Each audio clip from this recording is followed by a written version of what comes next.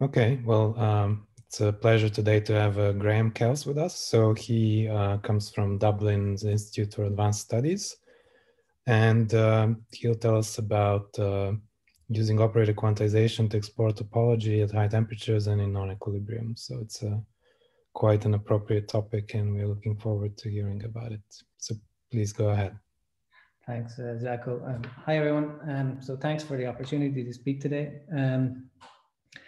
So I'm going to talk about operator or third quantization and give you hopefully a nice way to view it and maybe show you where and when you can use it. Um, I'll also tell you about a few of the ways that, that we've applied it to address issues of topology in high energy many body states of, of topological superconductors and in, in a non-equilibrium setting where we've been looking at an interesting model that blends classical stochastic transport and quantum transport. Um, so, so actually this talk includes contributions from lots of people. So I'll just put them up here and then hopefully I can uh, single some of them out later. Um, and then I should thank our funding bodies as well. So to start this off, I want to talk about many body physics and what makes life easy, at least computationally. So you know, in the realm of many body physics, there's quite a lot you can do, of course, without making things too difficult for yourself. Um, it's quite acceptable to stay over here and uh, do many profound things. And most people um, in the field occasionally push themselves out here, um, out of their comfort zone. However, I, I've noticed that the class of people who practice this ETH violation business are, you know, like to challenge themselves to all kinds of um, horrible combinations of these things and you know invariably including these interactions. Um, so if this is the kind of thing you're into, then I hopefully this this is these two things will be interesting, and I'll kind of show you how these two things can be combined together to to give you lots of information about about this region up here. And um, so one of the things we love in, in many body physics, of course, is a quadratic Hamiltonian of fermions. And um, if we use a Majorana fermion representation, so these gammas up here, which are just superposition of the normal uh, fermion, direct fermion creation annihilation operators, the most general thing you can do is, is, is this here. Uh, and uh, we like this because we can make superpositions of these gammas and write down free fermion modes of the system. And the superpositions are found just by diagonalizing this matrix A, which is only linear and then the system size. And then, you know, with these free fermion modes, you can write down the same Hamiltonian matrix as just a sum of those number operators made from those modes. And these, these number operators basically count whether the mode is occupied or not, and then give it an energy penalty. And so we like this, and you know, we can we can then you know start populating things with the binary representation, let's say, of these of these these beta free fermion modes and um, we like this, like we like this second quantization picture. It's nice. We can get every state that we want in the system technically. But if we're in the region where like we break this quadratic uh, behavior, for example, with a four fermion term, like an interaction, then we can't do this and, and therefore we can't do that. And so we're, we're back here again, at least partially. but I want to show you kind of clearly what's going wrong when interactions are present. And it can be really helpful, you know, to, to, to see this if you, instead of looking at the Hamiltonian, um, study the, the commutator, so the, the super operator uh, that is a, you know, basically going to operate on something. and so I'll represent this with this kind of blocky H here. Um, and you, to give you to give this thing some structure, we need we need to give it an inner product. So we use Hilbert-Schmidt inner product. And then, um, and then this notion of double kets here for kind of vectorized operators. And then you need a basis. so a really convenient basis is this canonical operator basis of basically made out of all possible combinations of those Majorana operators that I mentioned. And from here, you know, if you have the time, you can go ahead and then calculate this matrix representation of this blocky H um, element by element, if, if, if you were so inclined. Um, and assuming that you have a quadratic uh, Hamiltonian, you find that the resulting representation then has a block diagonal structure. So, so this, this thing here is, is our block EH now, has this type of structure. Um, and interactions are going to ruin that property. So, you know, in, in a very real sense, in this picture, they're like basically like a symmetry breaking term. Um, but I'll return to I'll return to that in a little bit. Um, so, so the nice thing about this block structure is it turns out that that A matrix where you where you defined used it to define your Hamiltonian, that actually just sits right there in that in that corner there. So in the block spanned by linear combinations of Majoranas. And so that means that if you're looking for eigen solutions of your problem, then, then your free fermion modes that I mentioned before would, would basically just sit in this, in this, in this little part of, the, of this larger space.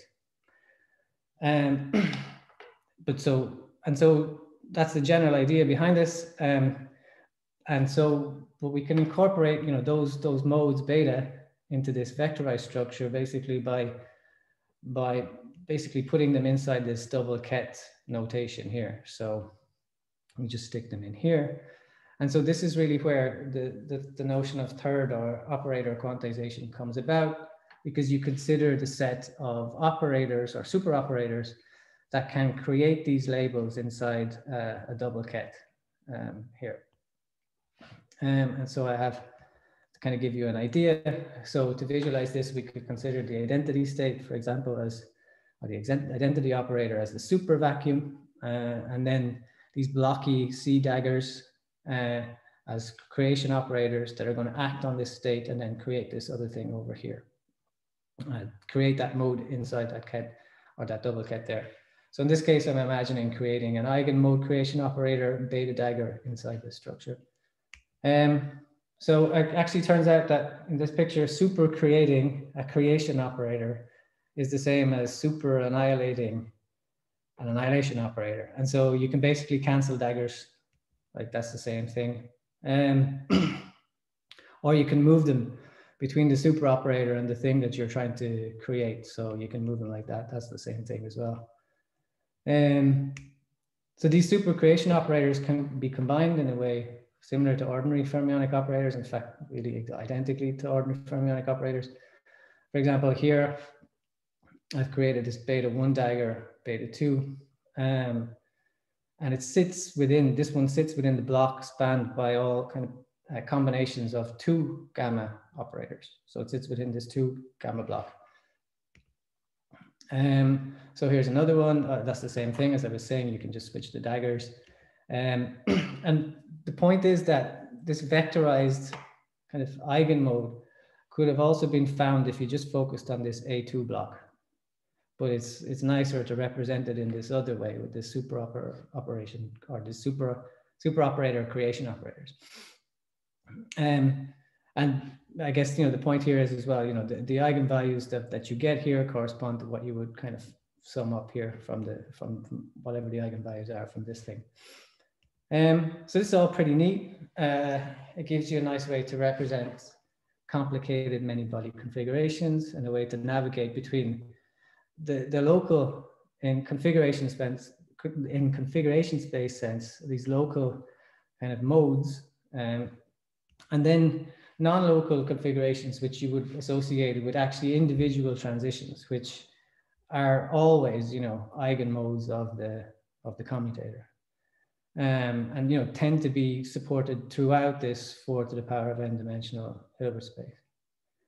Um, so yeah and so the, the way to kind of reconcile those two two points is to understand that these sums of so these sums of non-local configurations um when you sum them all up they kind of cancel to give you something that is local to individual blocks here i mean that's kind of the reverse way of thinking about second quantization um, and so we could call these kind of excitation number blocks, and then we could write this as this, it's the same thing. Um, and so so uh, so that's the kind of general picture. I'll, I'll, discuss in a bit how you can how you can form a nice representation for all of this um, in terms of spins on a ladder. But before that, I want to just go back to this quantization picture because there's one little subtlety that I want to discuss about navigating the space and about what happens when you try to super create terms that have creation and annihilation operators of the same fermionic mode, basically. So I showed you how this works, for example, and it just makes something over here. And it's the same for this and or this one. And I also said, you know, that they're, they're fermions. So basically, if I just put the same operator twice here, this whole thing just vanishes and basically this thing vanishes and so that you could you could represent that for example as a null set or a zero in there um, but the point that I want to make is that if you have a if you're trying to create a beta one dagger here and then a beta one here then uh, over here what you, you don't get something that's just local to this two two gamma block. You get you get a bit of the identity up here. And this makes sense right because of the fermionic anti-commutation relations. And it means that if you want to create uh, elements that are self-contained within a block uh, would have a bit of the same fermionic creation and annihilation operator in them, you should, you should do the following superposition. So use this difference of terms. And, and if you do that, then you, you get what you want in, in, this, in this thing in here. Um, so, and, and that you could write that as, as, as follows. Uh, sorry, it's the same thing, right? as I to emphasize that kind of earlier point. Um, so yeah, sorry if that's been a bit confusing, but the, the reason that you care about this is because you want to be able to make local in a configuration space sense operators that are in the kernel of this uh, commutator, this block EH thing. Um, and so that will be important later when I discuss this uh, quantum modified TASEP system. And so uh, I introduced a bit of shorthand. So instead of um, so going back to this picture, instead of just carrying around all these things, we're just going to replace those with this kind of a Z operator. So, so that's just that's just the idea there. So this kind of blocky Z, and likewise, you know, I just put a Z inside the double K. Um, okay, so the whole point of this was that interact interactions will mess things up. Um, the quadratic term has this clear, if you will, excitation number symmetry, but interactions will break that symmetry. So visually speaking, quartic four fermion terms will fill in these green blocks, connecting uh, one to three to five and, and zero to two to four. Um, and this identification up here doesn't work anymore in this, in this picture. I mean, we don't expect that all the combinations of eigen differences between eigenenergies will have the same, will have the same difference. And so you can kind of, but you could, in, in this case, you could generalize a bit in the sense that you could talk about um, one-to-one identifications between states and of roughly the same value. and then down here, in you would get something instead of just a single eigenvalue, you would get maybe something like a mean of all the energy differences that happen to be occurring in this sub. Um, and then the, the last thing that changes, of course, is you know, the your your modes are no longer local to those blocks. They kind of bleed from that single particle block into the three particle block and into the five particle block and so on. And so you then you're you're left with this kind of notion then of of many body modes, where you where instead of just this linear sums, you have all, all triplets and then five and then seven and so on. And so um so that's the background basically. Um, so keep it in mind for maybe 20 minutes or so. Mm-hmm. I'll, I'll first tell you a little bit about how I came across this stuff and indeed how I blundered around with it, uh, trying to address questions related to what people call strong or many body zero modes. Um, and without realizing that all the formal elements were, were already well known in the non-equilibrium community. And after that, I'll tell you a little bit about that, uh, let's say the approach of Prosen in particular in relation to this boundary driven XY model how it fits within this kind of pictorial viewpoint. And, and then it's a nice, that's a nice way then to kind of finish up and tell you about our own little foray into, into this non-equilibrium setting and tell you something interesting about this nice model that blends quantum and classical transport. Um, okay, so um, so where I started to look at this was um, I was looking at topological superconductors, and in particular I was looking at this P wave or Kitaev chain. Um, and so written down in terms of the usual Dirac fermions, it looks like this thing. And, uh, and we were planning to put this order in it uh, which means we're going to randomize this potential in particularly controlled way. And uh, we also want interactions. So we want uh, nearest neighbor repulsion term. It's basically the simplest thing you can do here. Um, but of course, as I said, we also want to explore the many body spectrum of this thing. So yeah, uh, so again, we're, we're, we're kind of where we are. And then um, the idea, of course, is without any of those interactions, uh, then we have this well-defined notion of, of these fermionic Majorana edge modes. um, they've been discovered a few times, I think, at this point, and, and undiscovered at least once. So you know the story. Um, but they're basically these modes that sit on the on the edge of the system. They're essentially like a single orbital somehow distributed at opposite ends of the wire. um, and uh, they should fulfill certain properties. Um, so the main one that you'd be concerned about is that it, it commutes with the Hamiltonian up to some small, exponentially small in the system length correction. Um, and there's some other properties here too that are important. Um, and generally, all these things imply that the, of course, you know, in the free fermion system, the entire spectrum should be twofold degenerate up to uh, whatever exponential splitting you have due to the finite size of the wire. Um, and you know, if you write these things out in terms of these outer products, um, you can kind of see how you know these things would switch from each state to its parity switch partner. And then keeping in mind that you know these these outer products are always the eigenmodes. If you're a commutator, you get the idea where they would be zero modes in that sense.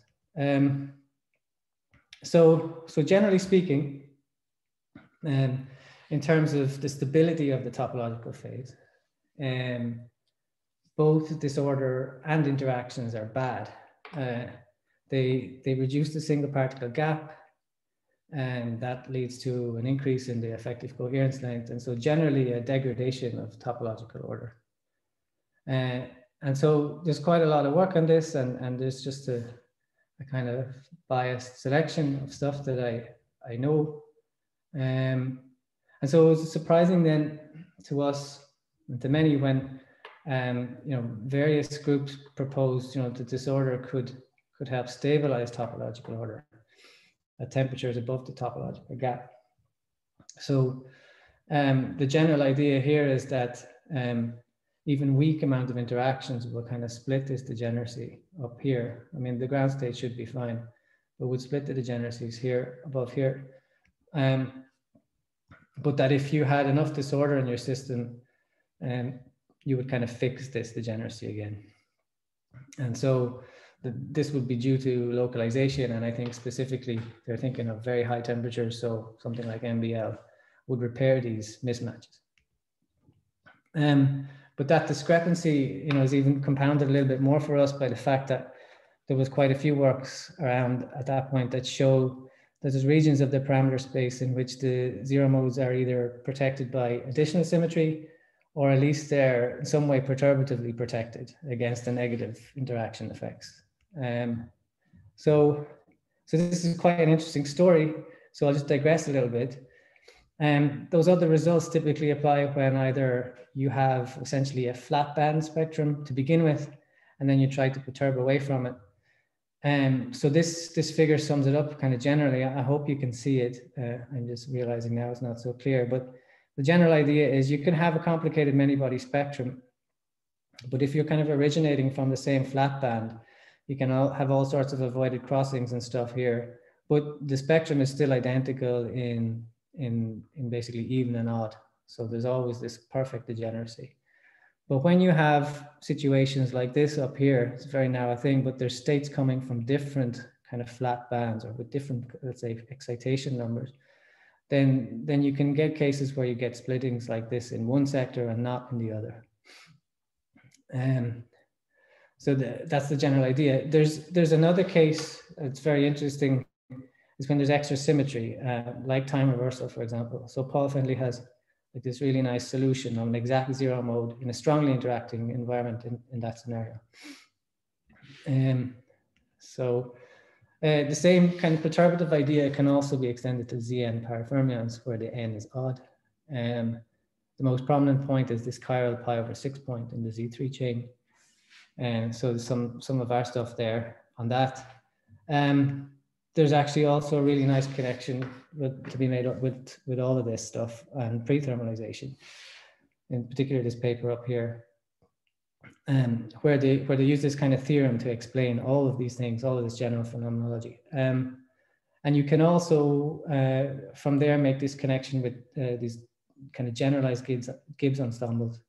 So, um, and you can see a lot of this even with the exact diagonalization. So I have a movie here from that Stephen Nolte made showing this kind of switching between generalized and uh, and kind of normal Gibbs. I don't know if you can see it. It's like something from Star Trek or something, but it's um, basically it starts off with this kind of generalized Gibbs ensemble in terms of the entanglement entropy, and then and then goes to a normal a normal scenario. And so, um, okay, so that's the digression over. So the main point of this is that you know, the kind of that kind of pre-thermal stuff happens over in this region here in terms of the spectrum.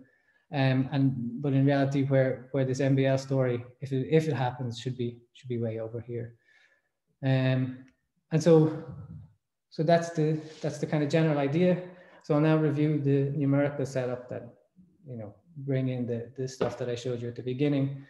So on the left here, I have uh, the the p wave wire with interactions. Uh, and on the right, I have assumed a kind of a spectral decomposition of the same thing, but where, you know, I'm, I'm just basically modeling the splittings between the even and odd sectors with these delta n terms. um, and so our generalized modes are now going to be of the form like I told you. I'm going to look for something like this. And they're going to correspond in a many-body kind of picture uh, to an outer product like this. And so the, the nice thing about doing it like this is if you if you then take these this thing and then plug it into a commutator like you would hope to, you would see that um, basically if you can calculate these trace kind of things, then in this uh, uh, with the left and right as a Majorana operators, then in this case you would basically sample the mean splitting between all those states. And in the other case, if you can do a kind of a double commutator, like I showed you here, you can actually get the variance. Um, and ideally, what you want to do is keep all these things intact. And so, you know, these, these are the kind of properties that you want. And you might think that these, these last two are essentially the same thing, but, but they're not. And, you know, and we kind of feel that we were able to implement this one very easily, but this one is very, very hard to implement in practice, at least to actively implement it. And so I think this is uh, one of the reasons why my punchline on this is a little bit less conclusive than we would have liked it to be, but uh, I'll get to that in a second. Um, so, uh, okay. So this is how we do it. Back, we're back to this picture now again, like I mentioned, we have our, this is what we do. This is the representation that, you know, so you can write out all this stuff that gives you this block structure just in terms of spins. It's, it's quite nice that kind of excitation number symmetry I mentioned before is exactly what you would think it's it looks exactly like magnetization in this basis. Um, and that's the symmetry that's preserved when you have no interactions but you know is broken by this interacting term at the end. Um, and recall now that we want to just calculate these vectors u1 and u3 and u5 etc and so um, when we did this first, we went for kind of a brute force approach where we really tried to assemble these states by individual elements. But um, what we did eventually was, you know, to try and go to larger systems was implemented with this finite state automata and then, you know, make an MPO for this guy. And the expectation values that I'm interested in are, as I mentioned, were, were basically this contraction of this kind of tensor network here, and then which gives us that mean value, and then and then this one here, which gives you this variance. Um, and this one here is the is the is the hard one because this is the one that we're actually going to be minimizing when we're doing when we're actually doing your DMRG or your variational approach approach to this. Okay, so the results here. Um, so we examined the first thing we do is like we examine the shape of these these U's that come back when we after this procedure, and and we see something pretty nice. You see, for, for kind of the single Majorana configurations, we got something very interesting as a function of the amount of disorder. So I think this is the standard deviation of disorder here. Um, so you can, you, can, you can see that we always have the kind of single particle physics that you expect. You get an increase, at least near the edges, you get an increase in the, in the localization length of the Majorana fermions. So that makes sense. But then for when you have very weak amounts of disorder, you come up against this kind of flat table that's basically given by the fact that there's interactions there now. But as you increase the value of disorder, you can kind of punch through that table at various different rates. And so that in a sense is quite nice for us because that's kind of what we hope to see in, in the sense that, you know, if, if this MBL idea would work, then, then maybe that's what we would see. And so it was very exciting when we when we were seeing these results. But the the kind of the the letdown for us was that when we looked at the this value, this E2 value, which is this double uh, this double commutator, which is supposed to give us the variance, and um, well, we got nothing. So we got this nice dip, and then the single particle effects taking over, basically finite size effects taking over. We got a really like six order of magnitude decrease in the dip in the in the mean, but then nothing in the variance. Um, and so, you know, um, in the context of what we were talking about, we were looking for a better zero mode. Um, and I'll show you, I mean, it means we got a better zero, but not a better mode. Um, so, I mean, we have some error analysis on this. Um, it's, it's, it's in this paper. I, I won't go through it too much. It's basically what we want, but what, what we actually have. Um, if you really if you really work it out um, in this E1 measure, there's there's there's there's an error, but the error would basically be vanishingly small if you got to a big enough system size. It would just be a sum over kind of random numbers that would be would have zero mean. But the error in the E2 measure um, would be a sum over generally positive quantities, and so that's actually the thing you're trying to get rid of in the in the DMRG, and so we couldn't we couldn't get rid of it. Um, and to kind of give you a pictorial view of what I meant was, you know, if ideally speaking, this was the spread of energies due to the zero uh, due to the zero mode, in the case that uh, that we had no interaction or no disorder, and but we had some error. This chi2 is kind of hiding this the, the true value behind us. And what we see in the in the numbers when we turn on disorder, I mean, we get a shift of this thing back towards zero um, the question that we really wanted to answer was, did, did this red line get thinner? Did it become more tightly bound around the middle? And, and, and we weren't able to see that at all. We, we, just, have, we just have this error uh, basically blocking it out. And that could mean that it doesn't happen, but it could also mean it does happen and just the method didn't work uh, in this particular case. Um, so, so that's that story. So boil, down, boil down, we got a better zero, but not a better mode. Um, it's certainly not finished. I've, I have an interest to return to this actually, not least because of you know the technological consequences, but also because uh, I think we can certainly get some better answers. We've learned a few new tricks since then. Uh, and so those those kind of new tricks are in the, the non-equilibrium setting. So that's just the, the, last part that I'll just tell you about. Can I ask about these uh, previous results? Uh, Ooh, so yeah. you were picking U to be very small. Uh. yeah, yeah, yeah. This was to give ourselves every chance of seeing this this effect. It is a very small U. I mean, we did go bigger, but same, you know, it was very very small, um, and still still couldn't get it to work in the sense. But the related, sorry, a related question is, I mean, if you compare the results, you have to use zero. How different are they? It, when you use zero, basically these this red line just keeps going straight. Um, there is an effect. There isn't like yeah. U is absolutely tiny. So, so, if you if you were to just cut this cut this curve basically off, or cut these off at maybe 30, that's what you see with disorder and no interactions. But interactions somehow, you know, kick in at some point distance from the edge, or at least this is what we think. I mean, this is our interpretation. Like I said, it's possible what we're seeing is is is not really we're not interpreting correctly. But that's I mean that makes sense to us. But I guess the point here is when, I mean, another way of looking at this is this, this thing here contains terms from the left and right of the system. Um, and so it's a kind of a property, it's a question of how far apart are things? There's a question of locality there. But then this measure here, you're, you're using the same mode from the left kind of twice and then hitting it in here. And so the question of locality is maybe not the most important one here. I mean, I don't know.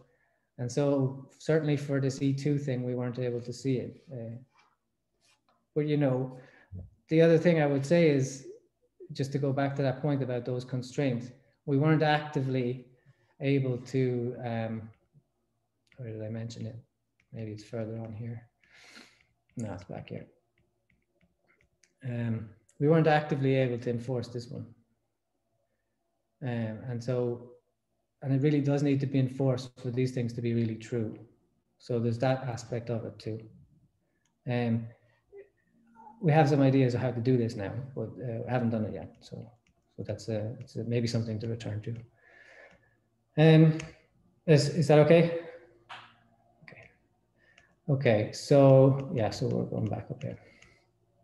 So okay. So so now we're in this this story about quantum classical transport, and we're talking about um, non-equilibrium physics. And so the opening scene is now this master Lindblad master equation, and then the object of interest is this calligraphic L, which is the sum of uh, of the commutator, which we mentioned already, and and then some some jump offer op, jump operators yet to be specified. Um, so in the same way as before, we give these super operators matrix representation. So this story, I'm going to only talk about quadratic Hamiltonians. And so in terms of spins, the most general thing, kind of nearest neighbor thing you can do is this transverse XY system, which is here. And you know, that's exactly the system we were just looking at, like literally exactly the system we were looking at. Um, uh, where if you want to map it back to fermions, you know, the delta, the small delta is now actually the, the large delta in the previous one. Um, and then the hopping is just given by the symmetric xx plus yy.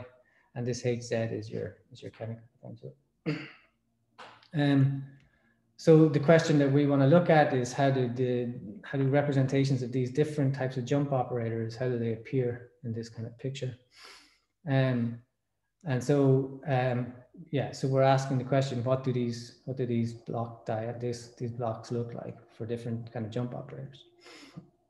And of course, it's worth mentioning that in this non-equilibrium setting, we're typically interested in steady states and we want to consider the solution or solutions to the matrix with eigenvalue zero. Um, we're also interested in other states and in particular you might care about what's the largest real eigenvalue not belonging, let's say not belonging to the steady state, which largely you know determines the relaxation rate of the steady state. Um, so, so Thomas Prosen considered this kind of uh, transverse XY setup with um, asymmetric boundary driving in, I think, 2008. And this is really where this notion of third quantization comes from. Uh, like the paper lays down rigorously a lot of the things I just showed you. Um, and pictorially, you could say the reason it works in the case of this asymmetric boundary driving is that the off diagonal terms uh, only appear in this lower triangle of this matrix. And that, that means that you can basically still focus on these diagonal blocks if you want to get the eigenvalues and the rapidities. Um, so you can just look at this guy and then generate everything else from that. Um, uh, and indeed, yeah, so, so basically you can focus on this one or this one. Um, and notice and in this story, since we're looking at uh, physical states, of course, we're interested in actually the even parity blocks. So even though we get these rapidities, you're actually interested in what happens here and here. Um, and there's also some technicalities regarding parity and whether or not your boundary driving is, is fermionic or spin. Uh, I'm just going to gloss over that. Uh, I'm, I'm also not going to discuss how you actually make uh, these states um, basically from, from the eigensolutions uh, of, of these, from these eigensolutions. I mean, that's quite a complicated procedure in kind of in a bi-orthogonal setting and probably best left alone. Um, but using this te technique anyway, so uh, they were able to, uh, or their variant of it, they, they were able to get a pretty clear evidence of topology in the rapidity spectrum. So this picture's from their PRL here. And for those of you familiar with the single particle spectrum of the superconductors will recognize this, this red curve and, and know what's going on there. Um, there's also some nice evidence of topology in the appearance of like edge modes in the system. But the weird thing is that the phase transition, so this non-equilibrium phase transition that they actually see, doesn't necessarily correspond to the topological phase transition. Um, so this is another picture from them um, they're looking at some correlators, but this is this non-equilibrium phase transition that they see. But the topological phase transition should be just basically this, this vertical line here. And so I have a really nice movie of this. Um, so, um, so this is the gap closing. So you're seeing the gap closing. And the first dots that are going to shoot off here are, are basically the Majorana zero modes, but there they go and they're gone. And then, and then basically something then starts to happen around here. Something funny goes on. And then, you know, eventually you might get something else shoot off the edge of the edge of the thing. And those, those guys there are also evanescent modes. but I mean, I guess the point is that Majoranas are playing a role here, but they just get kicked off to very some very high real value. Um, and then this other transition here is, is, is very strange, but it's definitely something to do with topology because it's, it's something to do with how the, the spectrum of the Hamiltonian is bent over in this W shape. um, the, the precise way that these states occur depends on the boundary driving, but, but not, not very much. Um, and so in general, the phase diagram that I showed you, I mean, that only depends on the on the values of the Hamiltonian. don't depend on the on the on the jump operators at all. And so that's kind of a little disappointing in the sense that you what we were hoping for anyway was was something that uh, where you could kind of mix these two kind of effects like the Hamiltonian and and the and the and the non-equilibrium parts. Um, so the gaps that they see, uh, just just for reference, are they get this one over n to the power of three scaling, and then on the phase transition line, they got this one over n to the power of five. So generally, for large system sizes, these things thermalize very slow. Um, so the new stuff now that I wanted to tell you about then is this um, XY model with TASEP. Um, so TASEP is this the totally asymmetric simple exclusion process. So it's a model of um, it's a many body model of like point like particle flow and has been used to explore um, traffic um, ant trails. You know, there's a whole bunch of stuff, biology, even, you know, mRNA, if you want to get your hands on some of that COVID money. Um, and then the real thing, the interesting thing and why this is so famous is it has this really cool phase diagram basically depending on these hop on, there's a hop on rate alpha and a hop off rate beta. And there's a, a rate in the middle probability that you would hop forward in the middle, but typically you set that to one and you get these nice different phases. Um, um, and uh, this, the, this steady state for this model was famously solved for by Derrida and co in 93 using uh, matrix product states matrix product states before they were even called matrix product states. And then, um, and then, so our original idea when we started to look at this was just to see if we could make some quantum version of it, you know, by square rooting the matrix elements, for example, of the of the Markov process that describes this. So, but none of that worked. Um, and but we eventually figured out that we could just incorporate at least the, the stochastic bit directly into the Lindblad type setup. Um, I guess this is fairly well known that you can do this, but but at the time for us it was news. Um, and then we found out that actually this exact thing had been looked at by Temme Wolf and Verstraete in 2012, but where they actually only considered um, hopping. So so they had no they had no uh, delta anisotropy. Um, in this paper, they actually also considered the symmetric hopping process and also show how to incorporate those Derrida solutions into, into the open kind of quantum setup and a whole bunch of other stuff. But I guess, you know, in terms of the, in the, the general picture of our block matrix, where does this type of thing put us? So it puts us here basically. Um, and it's fairly bleak at first sight. Uh, I mean, in terms of getting something solvable out of it anyway, but it's not without some interesting features. Um, so to tackle it, we, we employ MPS methods. This is what uh, Temme and Co do. Um, and for the steady states, I guess these days you can use the methods from, from these refs here, where you look at L dagger L, and then employ some traditional DMRG and whatever other tricks you know how to do to speed it up. Um, there's no great advantage to going to this canonical representation. Um, however, if you look again at the block structure, you'll notice, well, that one of these blocks is missing. So this guy here is gone and um, it's up in the corner. Of course, it has to be like that. Um, or else basically you wouldn't get, you wouldn't get it, always get a dark state. Um, but for kind of a detailed structure of what's happening uh, and what's happening. So this block is gone, but then there's only two matrix elements connecting to it. Um, and so basically, and these, these two things are only are related to the boundary driving. And so we can use them to essentially project out the steady state.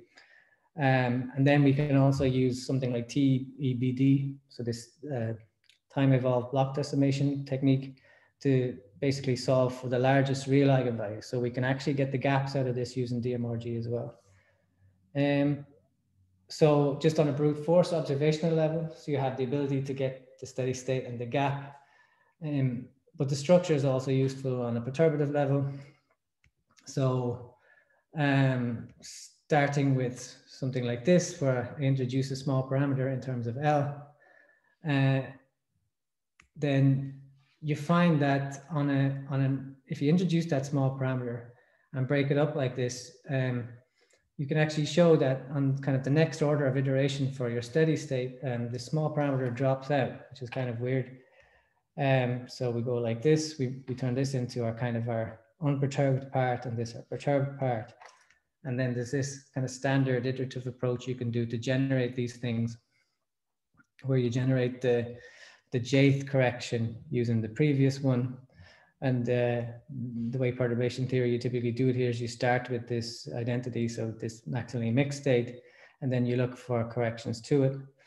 And if you if you go through this and you go to the limit that this epsilon parallel and epsilon perp are small and equal, then you see that they actually drop out. Um, and that's a bit strange, but but it fits with what you've what you see numerically, and I mean maybe you've observed this elsewhere as well. So that's nice. I mean, it just gives you a nice way to, to think about these things in terms of blocks.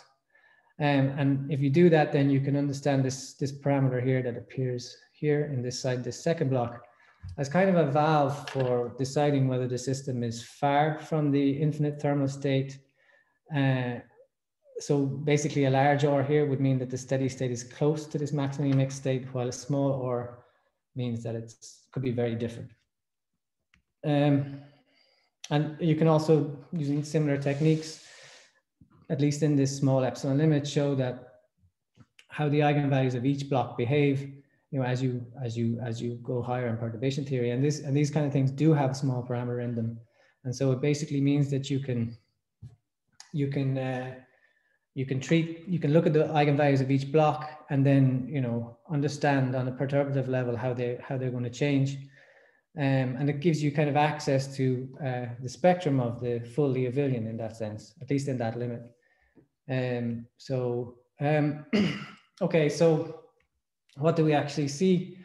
Um, we, we found something pretty nice in terms of the gap behavior. Um, when, when you introduce this anisotropy, uh, we, we found that the gap generally scales as just one over n in this model um, but that there's actually a constant term that comes in and um, that basically shifts the gap away from zero in the term of the limit. Um, so that's pretty nice. It's pretty different. Uh, and uh, this offset, however, is strongly suppressed once this transverse field pushes you out of the topological region. So in this sense, the, the behavior of the, of the thing that we're seeing is a bit like a field effect transistor and so there's a nice connection with uh, continuity equations with sources and things like that.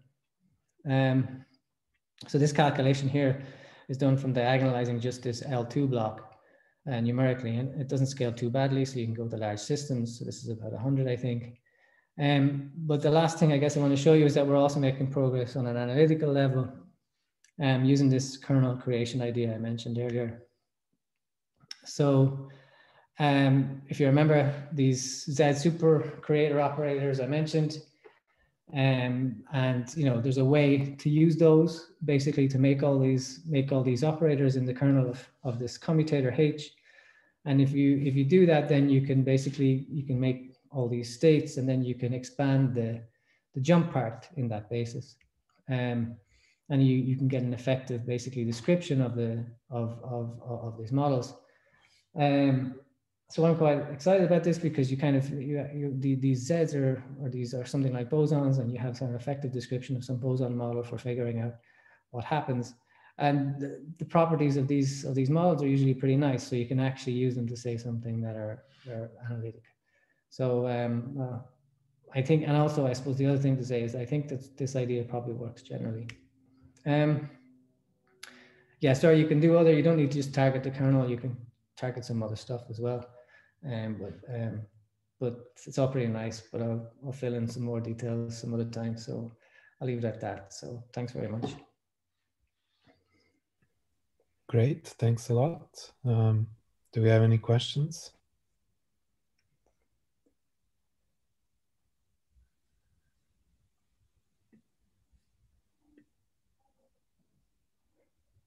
Okay, well, maybe I can start. So, can you summarize to us so the message of the first part of the talk? Um, so, with respect to you know the standard kind of story in the literature about this localization protected order, um, yeah, do you agree I, with that? Do you disagree?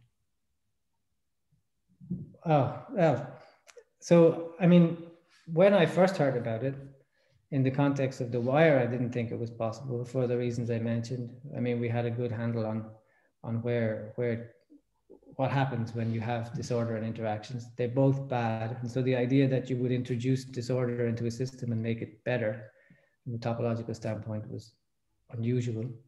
But of course, they were talking about what's going on up high in high energy, and so we we just we just we didn't make a judgment. We just said we'd go after that and try and try and get an answer. Um, when we do ED on those kind of systems, you do see if you have weak interactions, you can you do see an effect, you know, but it's small system sizes you're talking about. It's like a 12, 13, 14. You can see it there. And so that that's so in that sense, I, I agree it's true.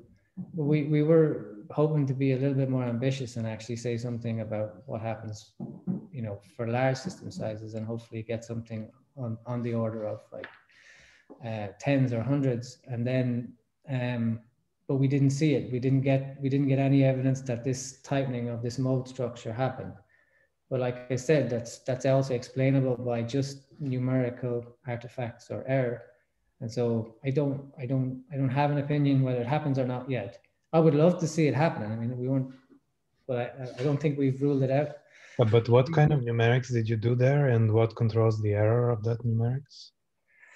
Um, well, that's it. The error essentially that we're seeing is how good your DMRG is, but also, like I mentioned, we also need that constraint that that thing is the identity.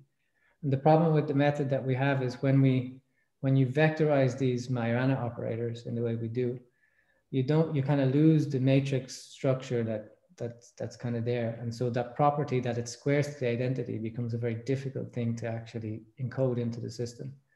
So we didn't have that actively in there. And we could kind of measure it and see what it was uh, how far away from the identity it was let's say. Um, and it was of the order of the of the kind of of what the of what this chi2 measure error that we're seeing so it's it's reasonable that that could be the that that could be an explanation for why we didn't see anything.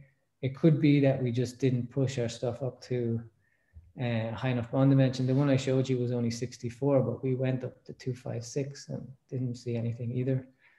So well, no, it should be yeah. If it should be if it's some kind of MBL stuff, uh, 64 should be more than enough. But uh, yeah, yeah, but yeah, should be. I mean, I, I recall there was a paper by um, Ehud Altman and Ashwin Vishwanath on uh, like a clustered model with disorder, mm. which also has edge modes. Um, and uh, yeah, I mean, they they seemed in that paper they just seem to kind of confirm the usual story that uh, once you crank up disorder and you go to finite energy density, you find the degeneracy in the entanglement spectrum, blah, blah, blah, all the usual. Yeah, yeah, yeah. So, I mean, for this measure, like I said, we didn't see it.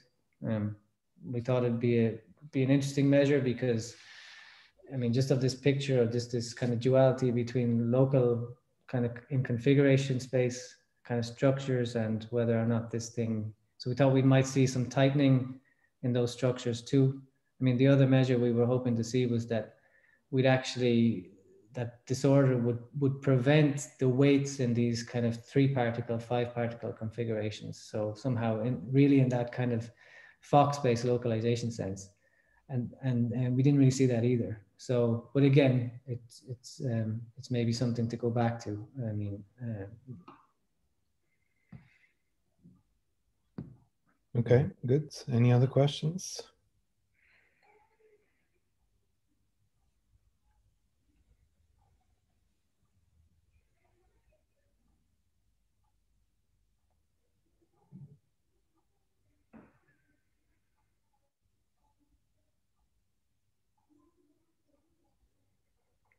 Okay, well, if not, maybe I'll stop the recording and then uh, maybe people will be less shy to um, ask some questions. Thanks again. Thanks. Thank you, Evan.